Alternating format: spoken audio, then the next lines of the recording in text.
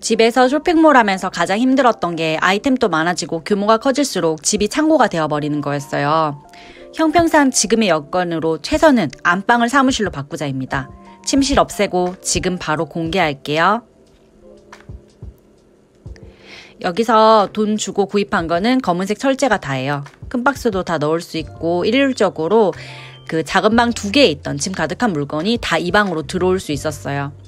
택배 박스까지 모두 베란다에 있는 짐을 이렇게 끌고 왔더니 전체적으로 정리된 느낌도 들고 택배 쌀때 이쪽 저쪽 방마다 물건 가지러 안 가도 되고 이 방 안에서 다 해결이 됩니다. 집에서 할 수 있는 것도 감사한데 이렇게 집중할 수 있는 공간을 내어준 신랑에게 감사합니다.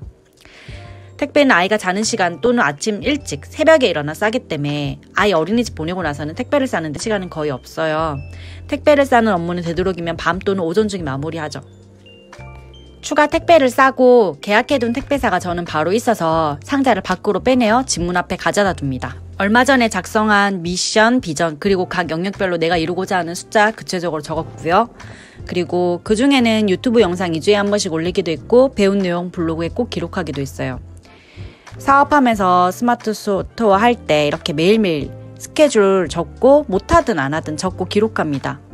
그리고 미션처럼 일과를 완수하죠. 벌써 적은 지 1년이 넘어서 이제 노트 두 권 이상 나왔어요. 지나고 보니 내가 열심히 한 기록물 같아서 진짜 뿌듯해요. 못했다고 좌절하지 마세요. 저도 아, 오늘은 쉬는 날이야. 오늘은 괜찮아 하며 좀 그냥 넘어갑니다. 푹 쉬어야 다음날 다시 재충전하고 열심히 일할 수 있어요. 책상 앞에 앉아 문의건 답변도 해주고 그리고 크몽, 크몽 알바 의뢰온 거 작성도 합니다. 이렇게 하루에 계속해서 일을 할수 있는 시간을 스스로 만들어요.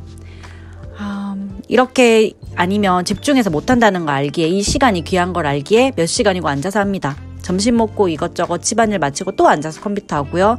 역시나 블로그도 적고 휴대폰으로 찍어서 영상에는 없지만 스타, 인스타그램 홍보도 하고요. 그리고 제품에 대한 정보도 꼭 상세하게 블로그 작업하는 것도 있지 않아요.